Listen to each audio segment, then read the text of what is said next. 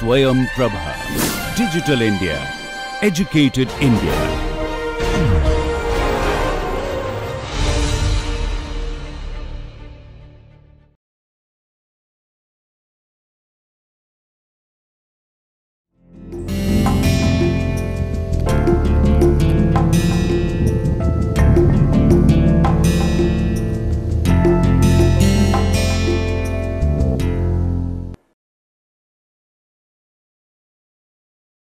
नमस्कार मित्रों, स्वयं प्रभा चैनल नंबर 26 में आपका एक बार फिर स्वागत करते हैं। मैं डॉक्टर परीक्षित सिरोही, वरिष्ठ सहायक प्राध्यापक, विधि संकाय, दिल्ली विश्वविद्यालय, आपके समक्ष प्रतिस्पर्धा कानून यानी लॉ ऑफ़ कंपटीशन का ये कोर्स लेकर आया हूँ। इस कोर्स में कुल 10 चैप्टर 10 अध्याय 10 व्याख्यान होंगे और हम बहुत ही महत्वपूर्ण जो एस्पेक्ट्स हैं कंपटीशन लॉ के, उसकी परिचर्चा आपके सामने लेकर आएँगे और आशा करते हैं स्वयं प्रभा के बाकी लेक्चर्स की तरह ये लेक्चर भी आपको पसंद आएगा। मित्रों, ये जो स्वयं प्रभा के माध्यम से आप अपने घर बैठकर अपनी सुविधा के अनुसार ये लेक्चर सुन सकते हैं तो ये विषय सूची हम इस प्रतिस्पर्धा कानून का जो पहला लेक्चर है, प्रतिस्पर्धा कानून के प्रति परिचय इंट्रोडक्शन की हम बात करें तो ये हम कुछ विषय सूची आपके समक्ष लेकर आए हैं। प्रतिस्पर्धा होता क्या है? इसका मीनिंग क्या है? इसका अर्थ क्या है?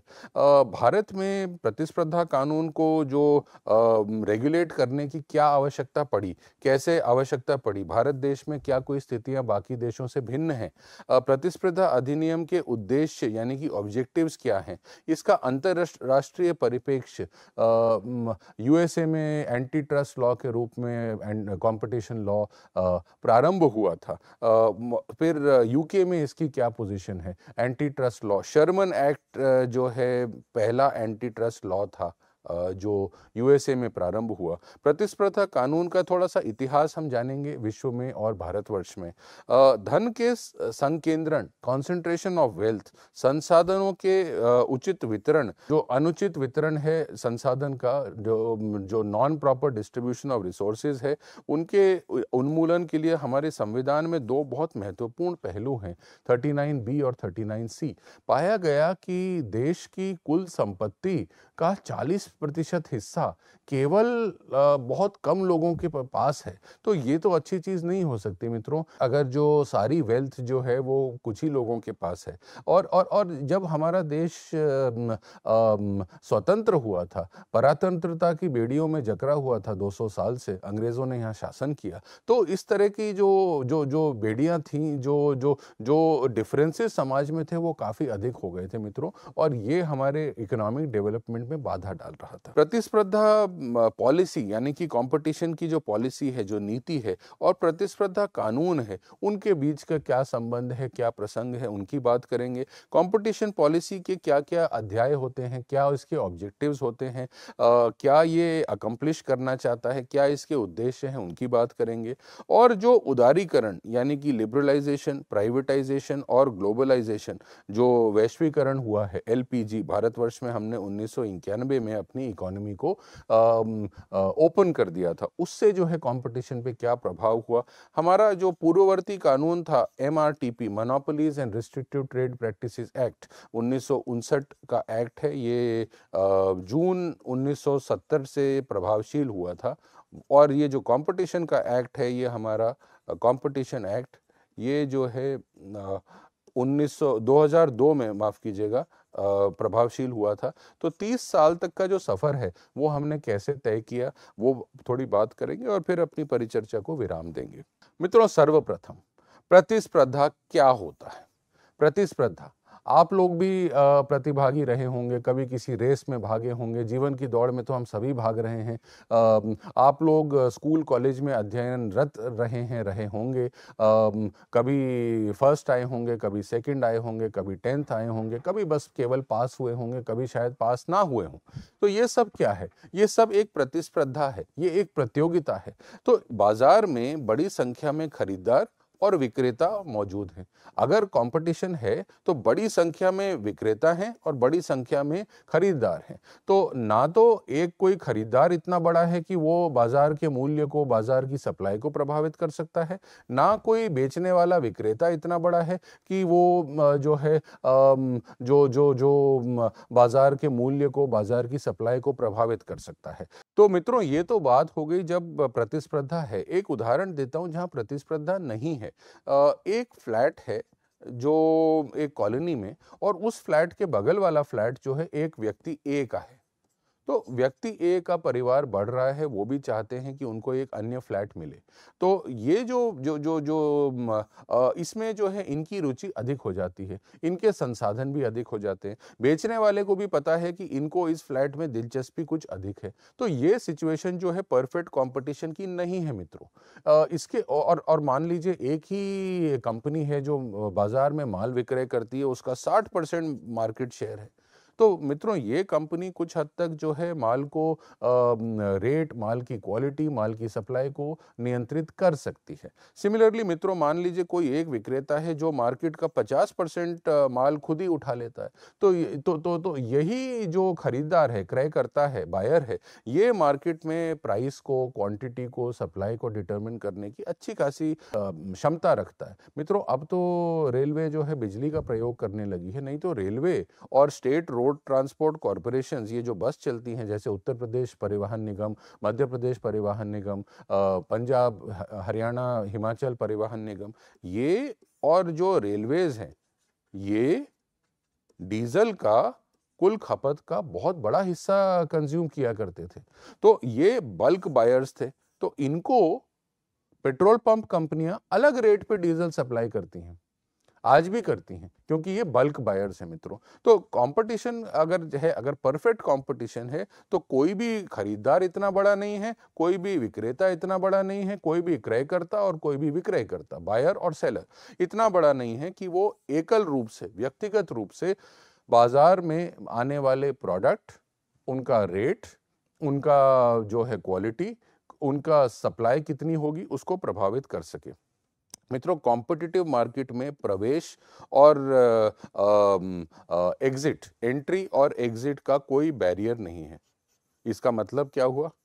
कोई भी नई कंपनी बाज़ार में आ सकती है अपना सामान बेचने के लिए। नई कंपनी का बाज़ार में आना आसान है और पुरानी कंपनी का बाज़ार छोड़ना आसान है। आपने कभी माफिया के बारे में सुना है मित्रों? माफिया? माफिया डॉन जो होते हैं। माफिया में व्यक्ति आ तो अपनी मर्ज़ी से सकता है, बट बाहर नहीं जा सकता मित्रों। यदि आप माफिया छोड़ना चाहेंगे, कभी आपने सुना है कोई डॉन रिटायर हो गया? या डॉन अपना कार्य छोड़ के कैमरामैन बन गया या अध्यापक बन गया? मित्रों, नहीं हो सकता। हाँ डेकॉइड्स वगैरह के बारे में होता है, आपने फूलन देवी जी के बारे में सुना होगा, वो बाद में राजनीतिज्ञ बन गई।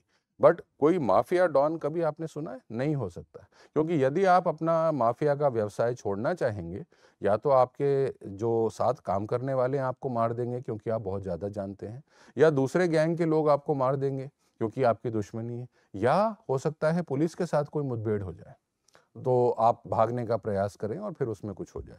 तो वहाँ पे एग्जिट नहीं है, मैं आपको ये समझाना चाह रहा हूँ। यहाँ पे अगर परफेक्ट कंपटीशन है तो बहुत सारी कंपनियाँ आ सकती हैं मार्केट में और अगर उनका बिज़नेस नहीं चला या कोई और कारण है, वो छोड़ भी सकती हैं। सभी कंपनीज़ के जो प्रोडक्ट है, वो सजातीय होंगे, होमोजीनियस होंगे, एक जैसे होंगे।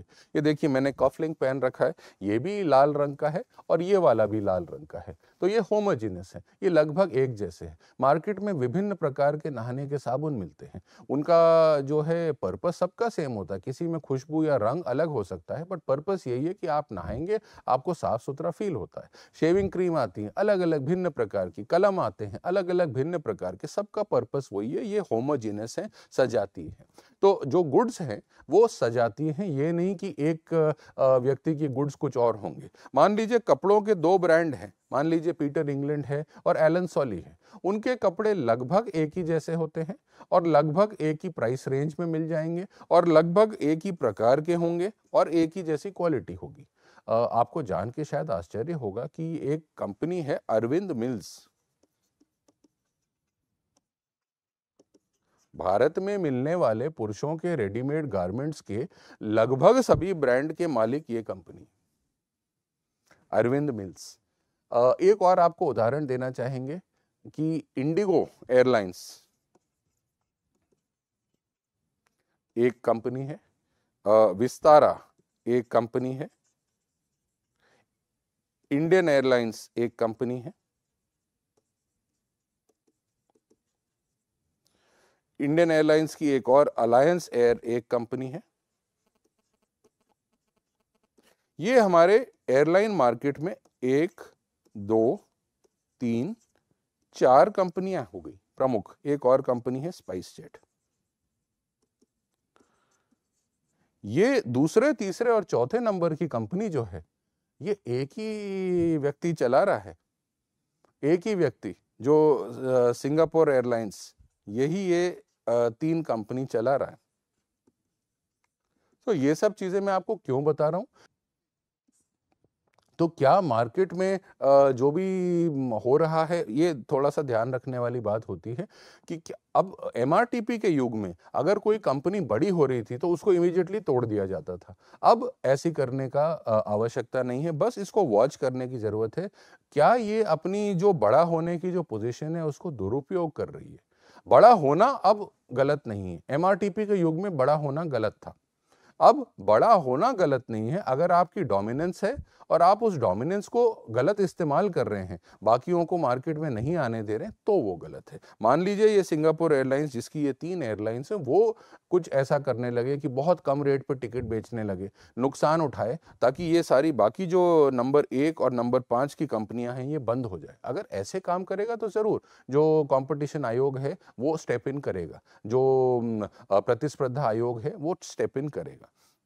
मित्रों, प्रत्यक्ष यानी कि डायरेक्ट कंपटीशन सबसे आम रूप है, जहाँ कंपनियों के समान उत्पाद या समान सेवाएँ होंगी और लगभग समान इनका बिज़नेस इंटरेस्ट है। मित्रों, आपने भी देखा होगा, आपकी क्लास में जो लड़का या लड़की फ़र्स्ट आ रहा है, आप देखना चाहते हैं कि वो क्या कर रहा है, जो अच्छा कर रहा है।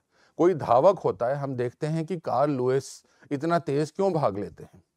How is he able to run so fast मित्रों, और आप नहीं तो आपके माता पिता बताते हैं। देखिए, शर्मा जी के लड़के को देखिए, वो कितने अच्छे नंबर लाया और आप क्यों नहीं ला पाते तो ये सब क्या है मित्रों?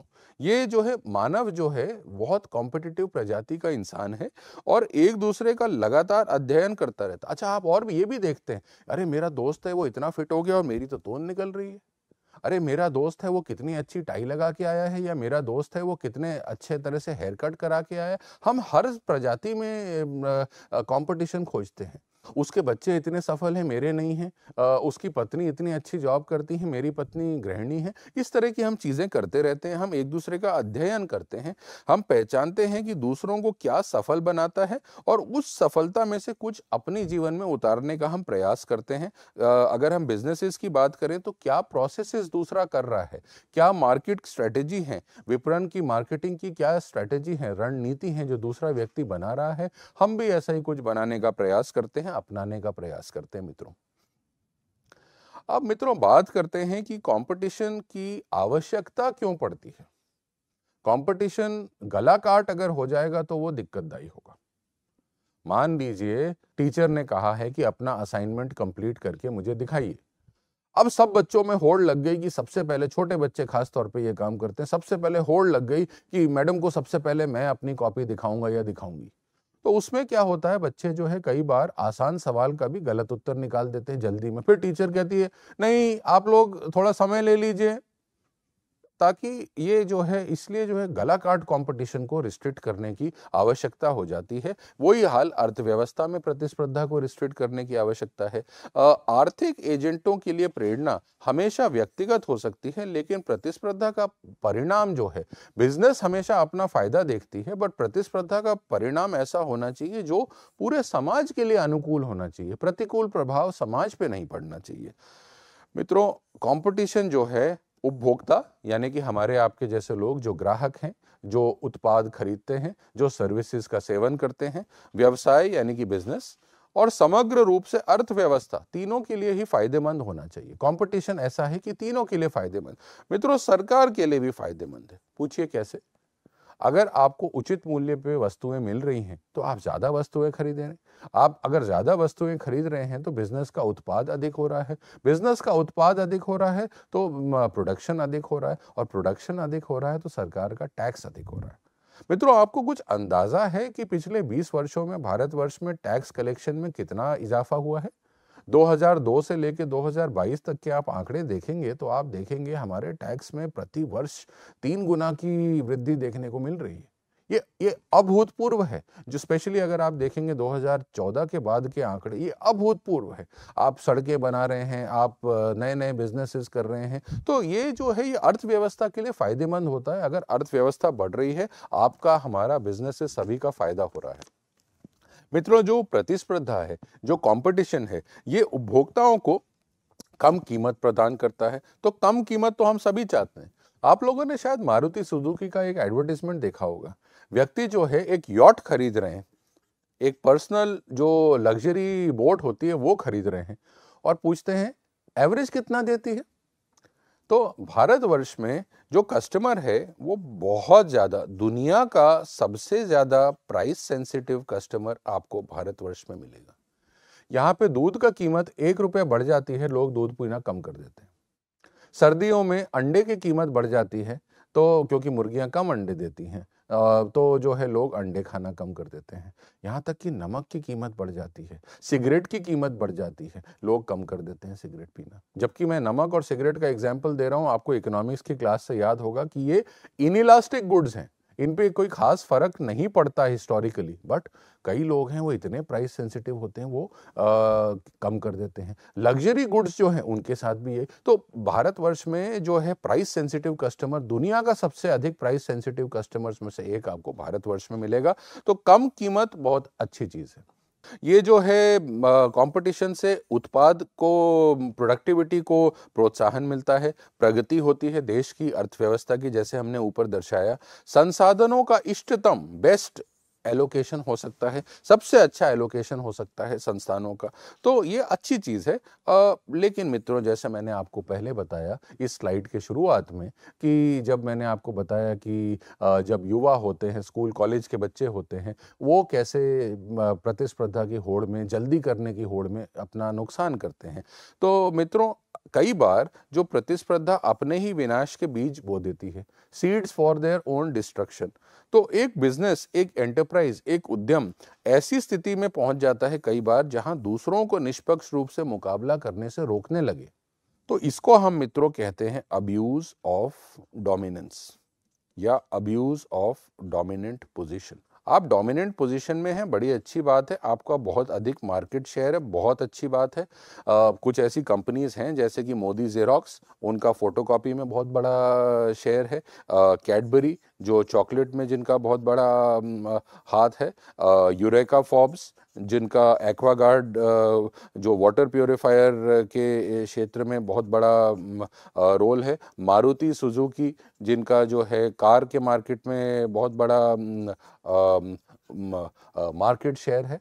तो मित्रों, मार्केट शेयर पर से जैसे मैंने इन चार उदाहरणों में बता दिया, अगर आप कभी इंग्लैंड में जाएँगे तो इंग्लैंड में एक कंपनी मिलेगी आपको ग्रे निकल्स।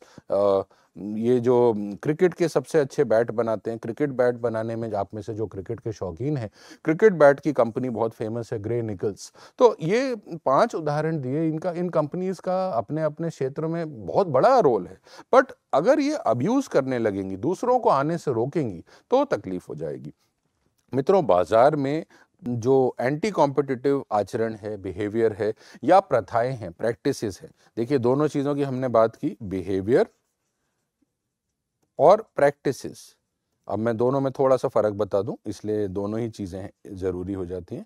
प्रैक्टिस मतलब जो आप कर रहे हैं और बिहेवियर मतलब जो आपकी सोच है जो आपका थोड़ा सा आ, कह लें कि जो जो जो आचरण से पहले या आचरण के बाद का जो आ, रूप है आ, उसको जो है विनियमित करना आवश्यक हो जाता है। क्योंकि जो है प्रतिस्पर्धा को बढ़ावा देना है इसके लिए लोगों ने नियम बनाए उन नियमों को संहितीकरण यानी कि कोडिफिकेशन किया और इस कोडिफिकेशन को हम कहते हैं कंपटीशन लॉ ये जो हमने नियम बना दिए जो और लॉ के बारे में आप लोग सभी जानते हैं लॉ क्या है मित्रों? लॉ एक कॉमन सेंस का कोडिफिकेशन है। हम सड़क पर चलते हैं तो वहाँ भी हमें एक लॉ की आवश्यकता है। नहीं तो क्या होगा, हम सामने वाले से टकरा जाएँगे। तो हमने एक नियम बना दिया कि आप गाड़ी चलाते समय आप सड़क के लेफ़्ट साइड पे ही अपनी गाड़ी रखेंगे। अमेरिका में राइट साइड पे गाड़ी रखनी होती है। तो ये उनका नियम है और हमारा नियम है। हम लेफ़्ट साइड पे गाड़ी चलाते हैं। ताकि राइट इधर वाली जो तरफ़ है, दूसरा व्यक्ति भी अपने लेफ़्ट साइड पे रख के गाड़ी चलाएगा, सामने से आने वाला। आप ऐसे जा रहे हैं, दूसरा व्यक्ति ऐसे आ रहा है तो बीच में टक्कर नहीं होगी। अगर दोनों ही व्यक्ति बीच में रखेंगे या दोनों ही व्यक्ति राइट साइड पे रखेंगे तो टक्कर हो जाएगी। तो अमेरिका में उलट नियम है, अमेरिका में ये राइट साइड ड्राइविंग का नियम है। सो ऐसे नियमों को जो हम संहितिकाकरण कर देते हैं तो वो कोडिफिकेशन कहलाती है और इसी को हम लॉ कहते हैं। मित्रों, हमारे देश में विनियमन जो है प्रतिस्पर्धा का, उसकी आवश्यकता कैसे और क्यों पड़ने लगी? देखिए हमारा अपना संस्करण था, जो प्रतिस्पर्धा कानून है, ये 2 जून 1970 में आया। आप बोलेंगे, सर, यहाँ आपने उनहत्तर लिखा है, वहाँ सत्तर क्यों? मित्रों, ऐसा होता है, जब भी कोई कानून संसद में पेश किया जाता है, जो ये डेट होती है, ये वहाँ से ली जाती है। मसलन, जो आपका ट्रेडमार्क का कानून है व्यापार चिन्ह अधिनियम है वो 1999 का है, पेश किया गया। लोकसभा चुनाव हो गए, वो पारित नहीं हो सका। तो 2003 में 15 सितंबर को वो लागू हुआ। तो उसको हम ये थोड़ी कहते हैं ट्रेडमार्क एक्ट 2003 हम कहते हैं ट्रेडमार्क एक्ट 1999 सिमिलरली आपका जो संविधान है, वो 26 11 1949 को पेश किया गया। और वो अमल में लाया गया तो हम उसको कॉन्स्टिट्यूशन ऑफ़ इंडिया 1949 के रूप में जानते हैं। सिमिलरली आपकी भारतीय न्याय संहिता है, वो 2023 दिसंबर में लाई गई, लेकिन वो लागू होगी जुलाई 2024 में। तो हम उसको भारतीय न्याय संहिता 24 थोड़ी बोलेंगे, हम उसको 23 ही बोलेंगे। तो इसीलिए इसका नाम ये है। मित्रों, ये हमारा जो कंपटीशन एक्ट है, ये 2002 में पहली बार बनाया गया, लेकिन जब तक पेश हुआ, लगभग 40 वर्ष हो गए थे 1970 से कि ये कानून अपने आप में आ सके। एम आर टी पी जो पुराना वाला कानून था, ये कमांड एंड कंट्रोल आपको याद होगा कि हमारे जो फाइव ईयर प्लान्स हैं, वो सोशलिज्म की बात करते हैं, जो संविधान का फोर्टी सेकेंड अमेंडमेंट है, बयालीसवा जो संशोधन है, जो 1976 में किया गया उसमें हमारे प्रियम्बल में ये सोशलिस्ट शब्द डाल दिया गया। तो सोशलिज्म में जो, ये जो शब्द हमारे प्रियम्बल में आ गया, ये कमांड एंड कंट्रोल की इकोनॉमी थी उस समय की, इंदिरा गांधी जी की सरकार थी और वो कमांड में यकीन करती थी, हर चीज़ पे कंट्रोल करना चाहती थी। तो अर्थ ये ये जो कमांड एंड कंट्रोल वाली अर्थव्यवस्था थी, उसके सिद्धांतों पर ये कानून बना। बहुत से अन्य कानून भी बने मित्रों। आईडीआरए कानून मसलन इंडस्ट्रीज़ डेवलपमेंट रेगुलेशन एक्ट वो हर चीज़ को रेगुलेट करने की लाइसेंस राज की उस टाइम की प्रथा थी। लाइसेंस राज आपने कई बार सुना होगा। ये सब चीज़ों का अंत हुआ उन्नीस सौ इक्यानवे में। तो अम, एक नियामक शासन स्थापित करने के लिए ये कानून बनाया गया था। एक रेगुलेटरी इन्वायरमेंट एमआरटीपी जिस इन्वायरमेंट को बनाने के लिए जहाँ पे सार्वजनिक हित पब्लिक इंटरेस्ट के लिए पूर्वाग्रही यानी कि प्रेजुडिशल तरीके से कुछ ही हाथों में concentration of economic power in few hands कुछ ही हाथों में अगर इकोनॉमिक शक्ति आ जाएगी तो वो सही नहीं होगा। वो ये कानून जो है इसकी शक्ति इसकी इजाज़त नहीं देता। तो अनेक मोनापोलिस्टिक यानी एकाधिकारवादी और प्रतिबंधात्मक व्यापार प्रथाओं पर प्रतिबंध लगाया इस कानून ने। मित्रों, एक बात मैं यहाँ पे स्पष्ट करना चाहूँगा। इस एक्ट में, इस कानून में कोई पनिशमेंट का वो या किसी प्यूनिटिव एक्शन का चर्चा नहीं थी। नो प्यूनिटिव एक्शन ये बस सलाह देना डायरेक्शन देना, इस तरह के कार्य करता था ये एमआरटीपी कानून। मैं ये नहीं कह रहा हूँ प्रभावी नहीं था। लाइसेंस राज को परपेचुएट करने में इसका बहुत बड़ा हाथ था। इस तरह के और कानून जो आपने सुने होंगे, फेरा फॉरेन एक्सचेंज रेगुलेशन एक्ट विदेशी मुद्रा नहीं रख सकते थे आप। दस हज़ार रुपए से अधिक विदेशी मुद्रा आपके पास नहीं रह सकती। फेरा, ये बहुत संगीन कानून थे उस समय के। अब ये खत्म हो गया है। अब फेमा आ गया है फॉरेन एक्सचेंज मेंटेनेंस एक्ट इस तरह के जो उस उस उस उस जमाने के जो कानून थे उसमें था ये। उन्नीस सौ इक्यानवे के बाद जैसे हमने पहले परिचर्चा की कि आर्थिक उदारीकरण आ गया, एलपीजी आ गया लिबरलाइजेशन प्राइवेटाइजेशन और ग्लोबलाइजेशन ये वो लिक्विफाइड पेट्रोलियम गैस नहीं है जिससे आप खाना बनाते हैं घर में।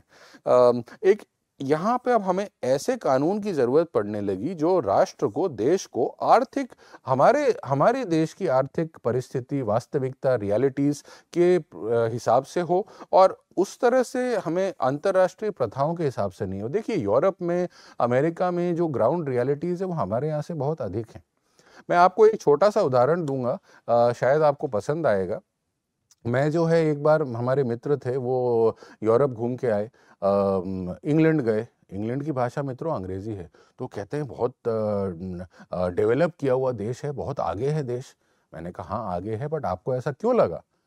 तो वो कहते हैं कि वहाँ पे जो भिखारी है, भीख मांगने के लिए भी अंग्रेज़ी का प्रयोग करता है। कहता है give me some money to buy fruits मैंने उनसे कहा, वहाँ की भाषा क्या है?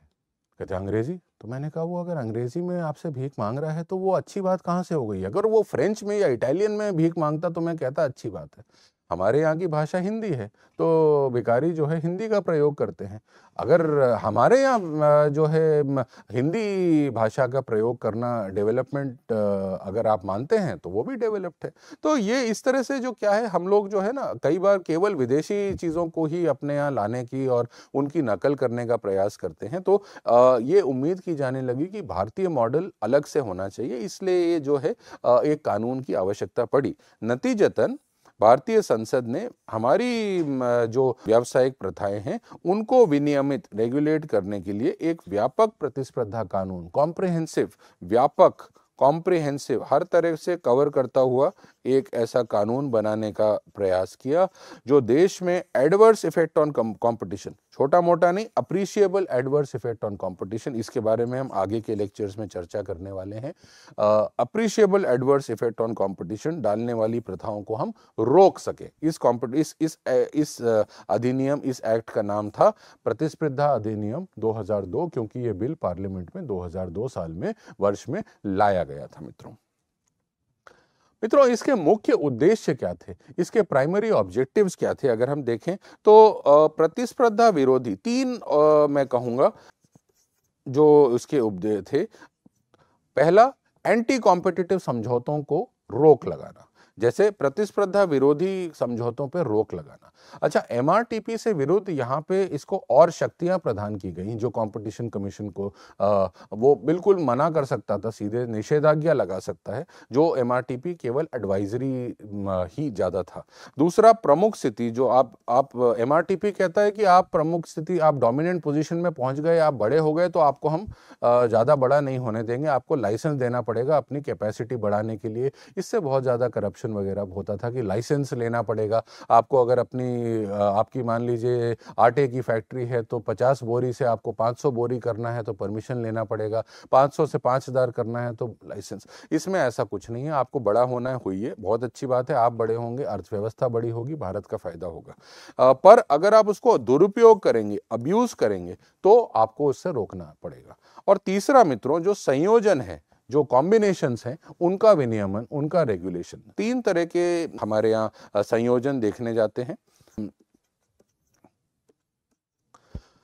एक विलय विलय यानी कि मर्जर दो कंपनियाँ एक हो गई मर्ज करके। मान लीजिए वोडाफोन और एटीएनटी ये बिरला की कंपनी थी तो ये एटीएनटी ये मोबाइल कंपनीज़ थी, इनका मर्जर हो गया। तो ये विलय हो गया। एक अधिग्रहण, एक कंपनी ने दूसरी को अक्वायर कर लिया।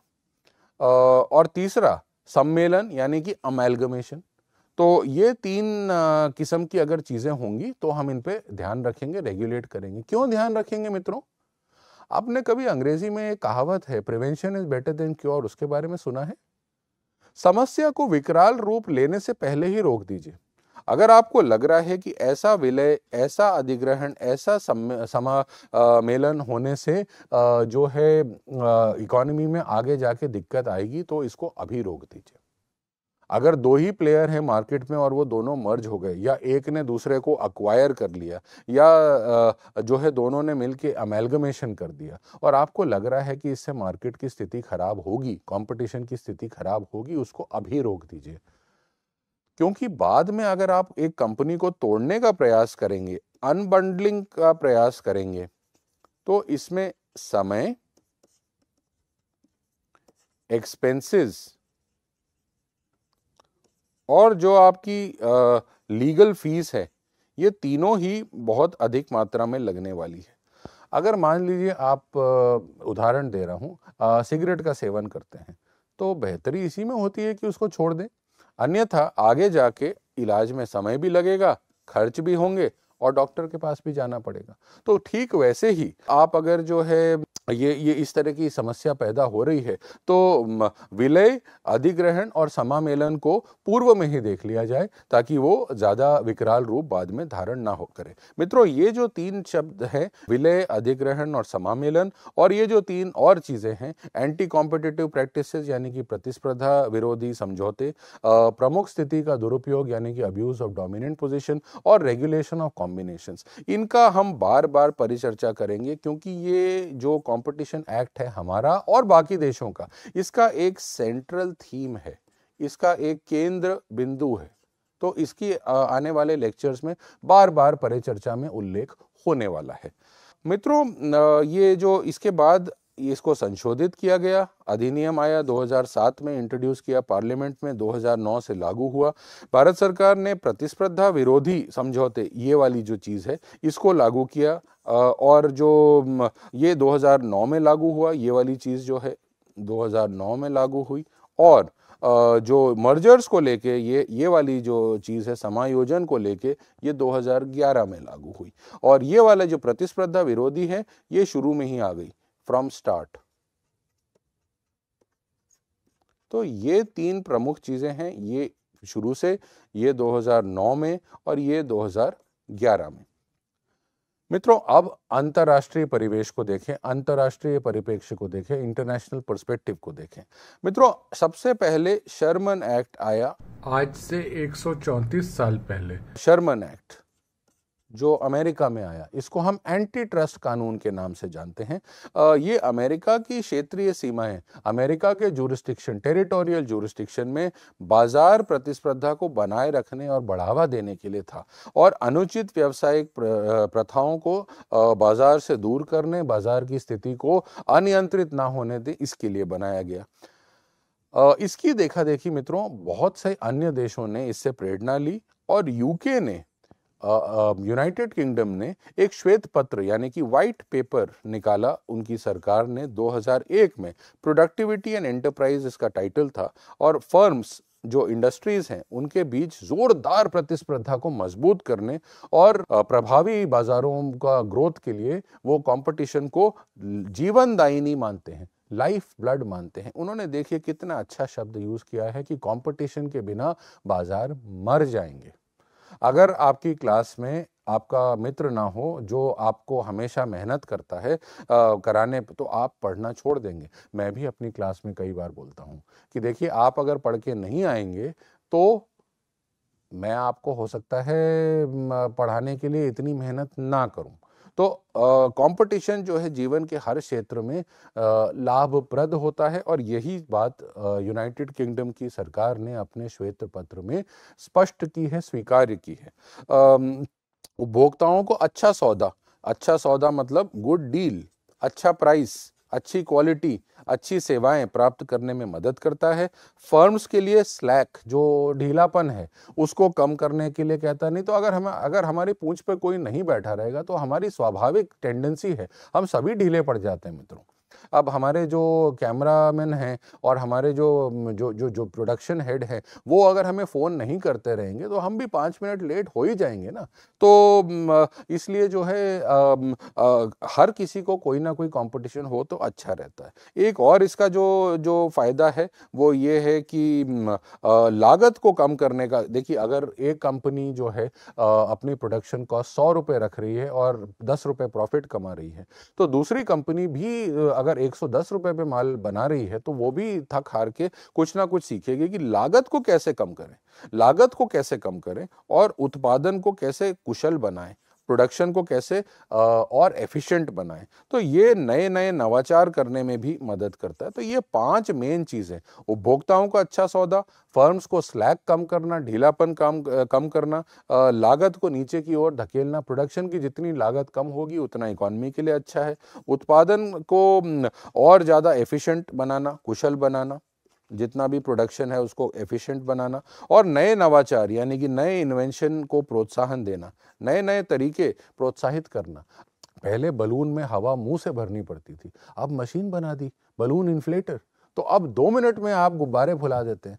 पूर्व में अच्छी खासी एक्सरसाइज हो जाती थी बर्थडे पार्टी में गुब्बारे बनाने के लिए, लेकिन अब एक नया नवाचार आ गया है। वो कैसे आया? कंपटीशन कि भाई इन्होंने दस मिनट में इतने गुब्बारे फुला दिए, इन्होंने दस मिनट में इतने फुलाए। तो वो उस तरह से अर्थव्यवस्था में उत्पादकता की वृद्धि के लिए एक सेंट्रल ड्राइविंग फोर्स है, एक केंद्र बिंदु है कॉम्पिटिशन ऐसा यूके की सरकार ने माना है। और ये सभी चीज़ें हम भी मानते हैं, बस हमारे आर्थिक और सामाजिक परिवेश थोड़े से अलग है। मित्रों, क्योंकि हमारा एक बड़ा तबका जो है, वो अभी भी आज भी गरीब, गरीबी रेखा के नीचे है। हालाँकि आर्थिक विकास के कारण ये स्थिति बहुत तेज़ी से सुधर रही है, बट क्योंकि हमारी जनसंख्या इतनी बड़ी है तो जो है परसेंटेज वाइज अगर हमारे लोग गरीबी रेखा से ऊपर आ भी रहे हैं तो शायद जो रियल नंबर्स हैं, उसमें इतना ग्रोथ इतना चेंज नहीं दिखता।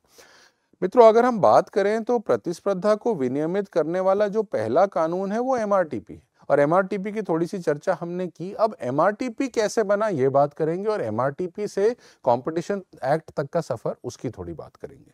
मित्रों, तीन प्रमुख समितियाँ जिन्होंने एक बहुत सार्थक भूमिका निभाई एमआरटीपी एक्ट को बनने में, उनका स्मरण करना आवश्यक है। आने वाले लेक्चर्स में हम इनकी थोड़ी और गहन चर्चा करेंगे बट अभी आपको इनसे बस रूबरू कराएँगे। सबसे पहले एक हजारी कमेटी बनी।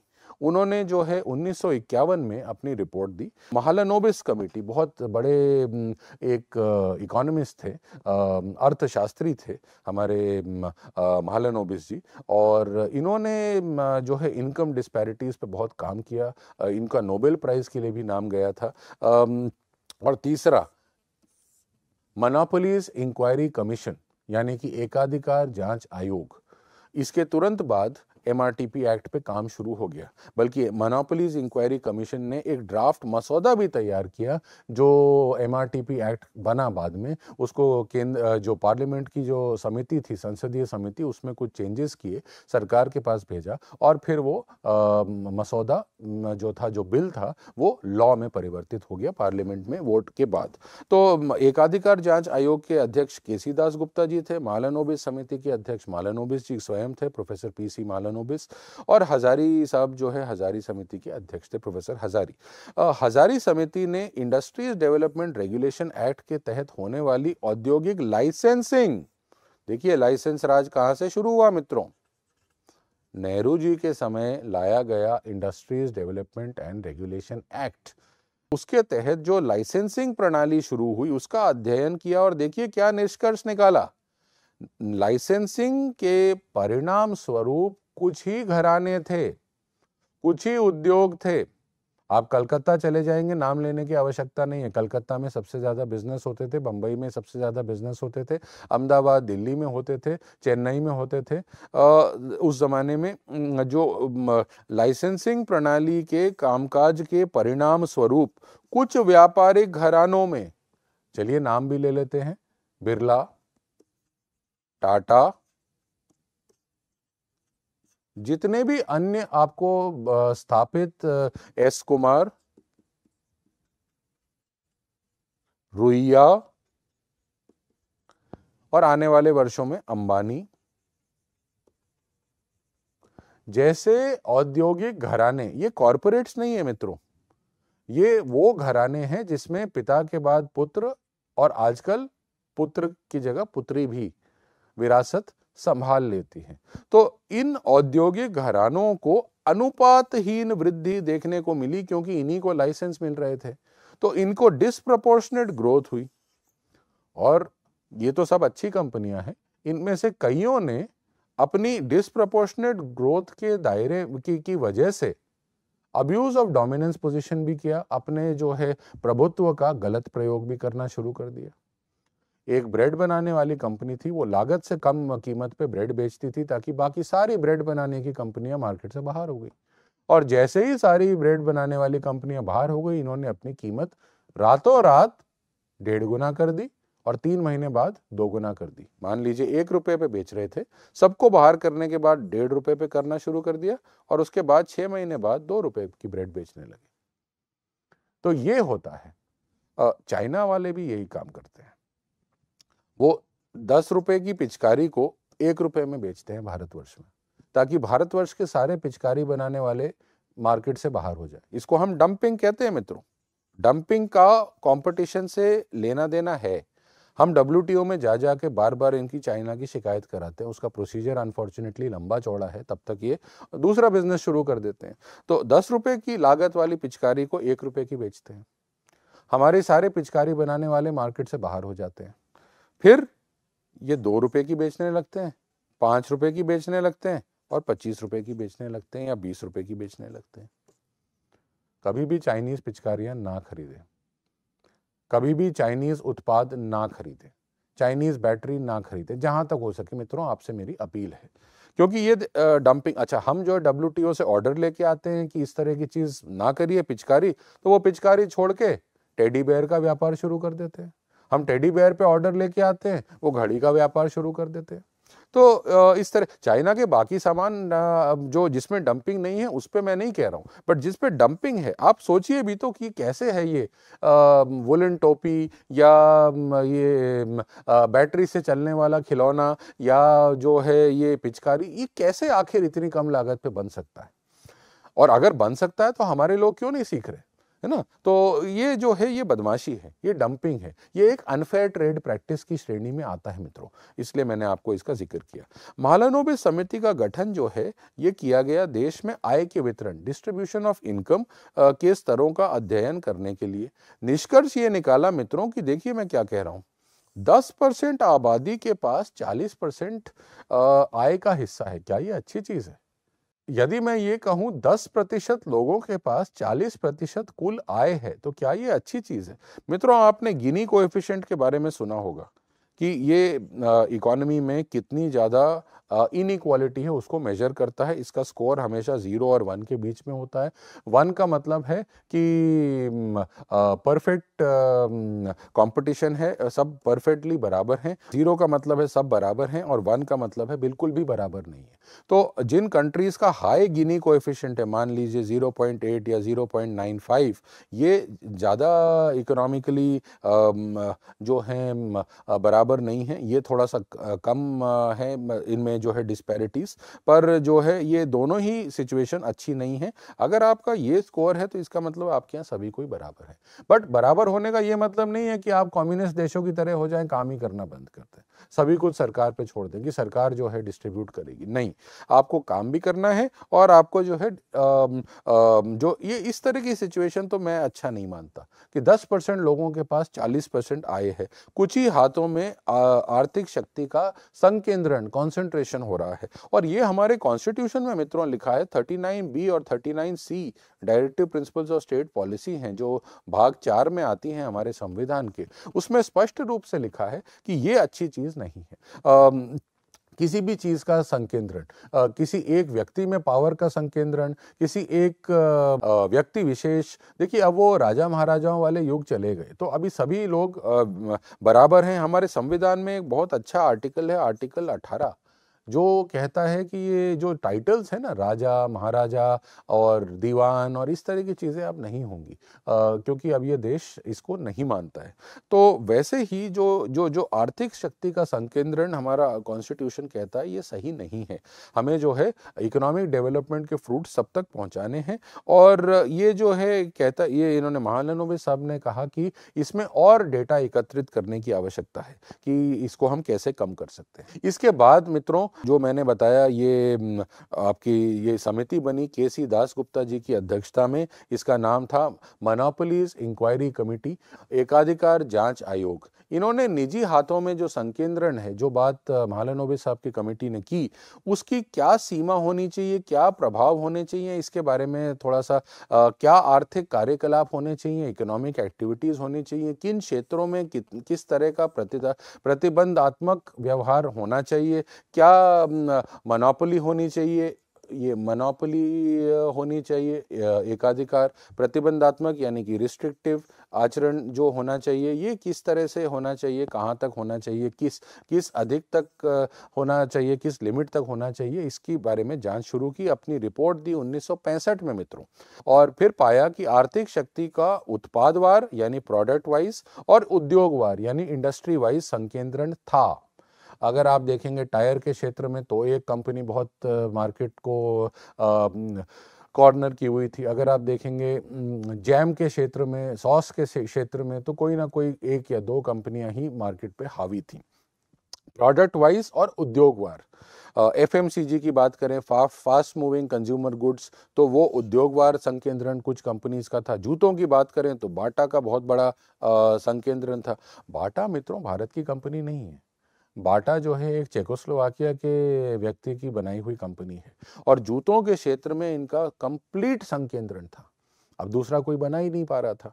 तो आर्थिक प्रणाली के संचालन को विनियमित करने के लिए एक मसौदा इन्होंने तैयार किया। इसके बाद संसदीय समिति ने इसको संशोधित किया और फिर पार्लियामेंट ने इसे पास किया। एमआरटीपी अधिनियम एक जून 1970 से लागू हुआ मित्रों। मित्रों, हमारे संविधान में भाग चार, पार्ट फोर में directive principles of state policy का उल्लेख है। ये डायरेक्टिव प्रिंसिपल्स जो हैं आर्टिकल 36 से आर्टिकल इक्यावन तक आपको मिलेंगी। ये प्रिंसिपल्स ऑफ़ गुड गवर्नेंस हैं। इसका ये मतलब नहीं है बेकार हैं, ये गांधीयन प्रिंसिपल्स पे आधारित हैं। ये वो चीज़ें हैं जिनको हम मूल्य देते हैं।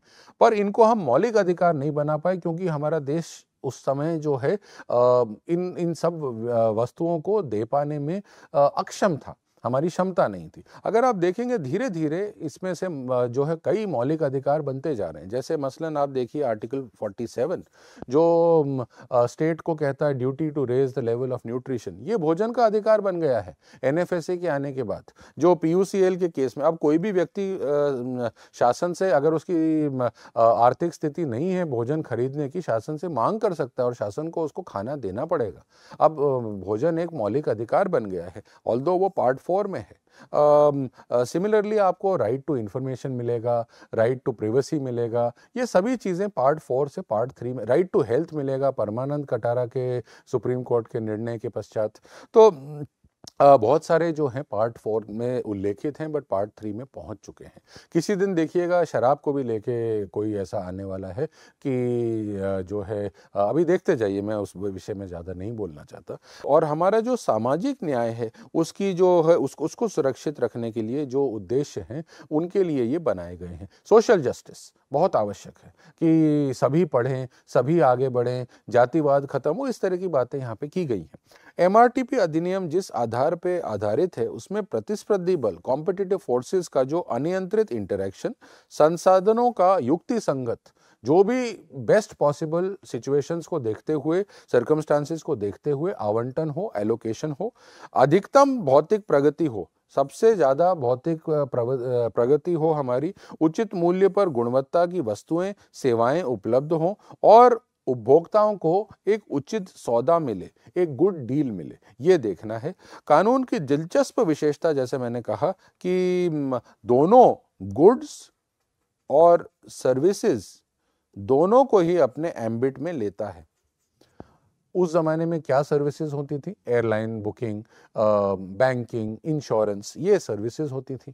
अब तो पचास तरह की सर्विसेज़ हो गई। अभी हमारा जीडीपी का साठ परसेंट जो है सर्विसेज़ से आ रहा है। तो वस्तु और सर्विसेज़ तो उस हिसाब से उस ज़माने में सर्विसेज़ को टेकिंग इनटू अकाउंट करना सर्विसेज़ को अपने एम्बिट में लेना उस ज़माने में समय से अधिक आप अपने समय से आगे चल रहे थे, इसलिए मैंने इसका उल्लेख किया।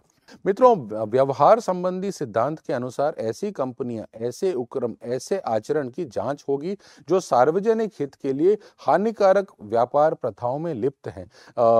ये ये जो है ट्रेड प्रैक्टिस अनुचित है उनका, या वो किसी पे एकाधिकार या प्रतिबंध लगाना चाहते हैं, ऐसों पे डायरेक्टिव दिया जाएगा कि आप ये काम मत करिए। एमआरटीपी आयोग को जाँच करने का अधिकार था इस, जिस निष्कर्ष पे वो पहुँचे कि कोई इकाई एकाधिकार कर रही है, स्थापित करना चाह रही है, अनुचित व्यवहार, व्यापार का करना चाह रही है, ऐसी संस्था को बंद करने, इस तरह की पद्धति को बंद करने या ना दोहराने की हिदायत, सलाह, निर्देश दे सकता था। बट कोई पनिशमेंट नहीं।